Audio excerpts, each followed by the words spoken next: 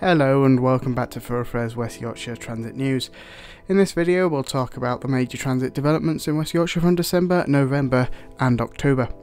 From cutbacks to construction and demolition, quite a lot's happened over the last couple of months, but before that, the main reason this segment hasn't been going out each month is because I've started uni, and generally not much has really been happening in West Yorkshire, but let's get into it. Our main story today is how transit schemes are set to be paused across the board in a bid to try to address inflationary issues across the entire region's transit schemes, with many due to external factors having their costs spiral.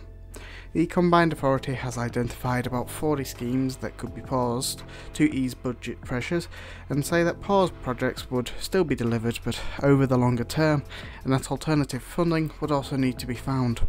A spokesperson from the authority has said that record levels of inflation, combined with the knock on effects of Brexit, the pandemic, and the war in Ukraine, are having a significant impact on the costs of infrastructure projects across the country.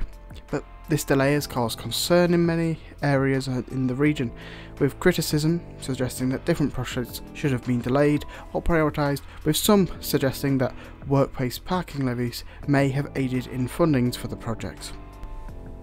Moving on from that, in Bradford, with funding from the government's Transforming Cities Fund, a old car park is being demolished to make Bradford Interchange Bus and Railway Station more accessible, whilst also creating a new pocket park.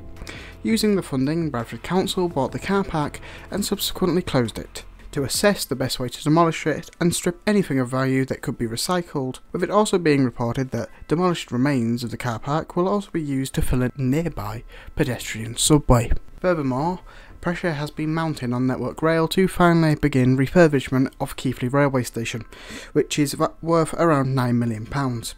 This is needed to bring desperately needed renovations to the historic station building the work was first announced years ago, but Network Rail have, as of this recording, not begun work on the station, and the local MP has been in talks to try and ensure that this renovation work is begun and completed. Though, pride can be taken in connecting Leeds' £270 million investment in the transport network in the city now being complete a major milestone for the city's transport infrastructure, which even warranted its own video from the council that I suggest you go watch if you're interested.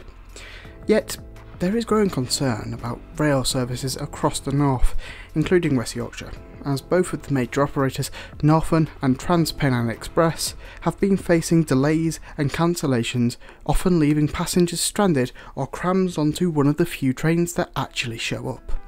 Politicians from across the north have banded together to lobby the government to take measures to return, to return the railways back to some sense of normality. Though, in an ironic twist of fate, Mayor of West Yorkshire, Tracy Brabin, was delayed due to a cancellation on her way to talk with the Transport Secretary about the issue. And our last story today is that of the 840 Coastliner service that runs from Leeds to Whitby. It is currently under review by Transdev Blazefield, who owns the Coastliner Bus Company. The route, voted as one of the most scenic in the country, is facing challenges over its future, with one source suggesting that the route would only continue local government subsidy continues and fares could be increased by 12%. Anyways, those are the main stories around transit from the region, and as always, I hope you enjoyed the video, and all the references to the wider stories are in the description below. Goodbye.